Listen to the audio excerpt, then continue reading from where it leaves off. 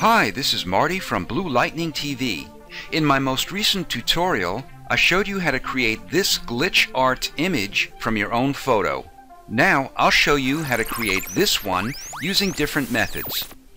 I provided a PSD file for you to download so you can follow along. Its link is located in the video description or project files. It includes this artifact and a full screen RGB glitch. Open a photo you'd like to use.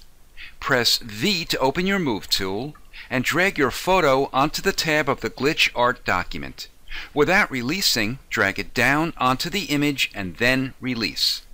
To resize and position it, open your Transform tool by pressing Ctrl or Command T. If your photo is too large to see the entire Transform tool, press Ctrl or Command 0. Drag it into position and then go to a corner. When you see a diagonal double arrow, hold down Shift and Alt on Windows or Shift and Option on a Mac and drag it in.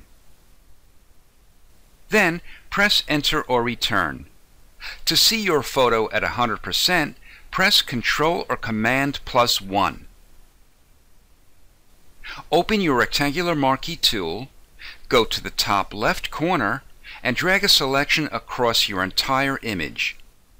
Then go to Image and Crop. This crops your photo to the size of the glitch document. To deselect it, press Ctrl or Command D. Go to Filter, Pixelate, and Pointillize. Make the cell size 3 and click OK. Go back to Filter, Other, and Offset. For this example, we're offsetting the photo to the right by 100 pixels. For your photo, have fun experimenting with different amounts, offsetting it horizontally and or vertically. However, make sure the undefined areas are set to transparent.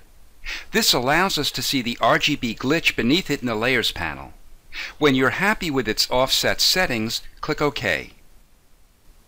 Click the Adjustment Layer icon and choose Hue Saturation. Slide the saturation amount to minus 100 to completely remove the color. Notice it removed the color of the photo as well as the color of the RGB glitch. It didn't affect the artifacts. The reason for this is because adjustment layers affect all layers beneath them in the Layers panel, but no layers above them. That's why the glitch layer is desaturated and the artifacts layer isn't. To make the adjustment layer effect only the photo, we need to clip it to that layer.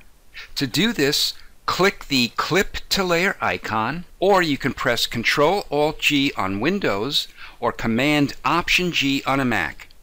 Notice the adjustment layer moved to the right. This indicates that it's now clipping or effecting just the one layer beneath it. You can see that the photo is now the only layer that's affected by the adjustment layer. We're ready to add some text. Open your horizontal type tool and choose a font. I'm using Arial Regular at a size of 50 points, sharp, right alignment, and white for the color. Click on your document and type out your text. To reposition it, click your Move tool and move it. Click this icon and choose Convert to Smart Object. It added this small icon to let us know that the layer is now a smart object. Doing this allows us to change the text while retaining all the effects and filters we'll be adding to the original. Go to Filter, Blur, and Motion Blur. Make the angle 0 degrees and the distance 10 pixels. Then click OK. To make the entire image pop more, let's adjust its levels. Make the top layer active and click the adjustment layer icon. Choose Levels. Make the input black 100.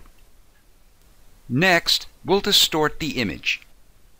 Go to the bottom layer and hold down Shift as you click on it to highlight all the layers between it and the top layer.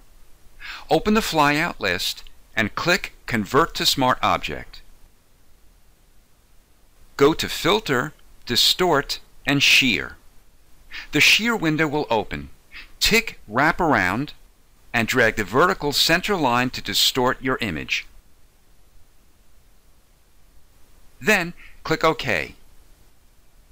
If you want to move and or change your text without having to redo its effects, double-click the Smart layer and when you see this message, click OK.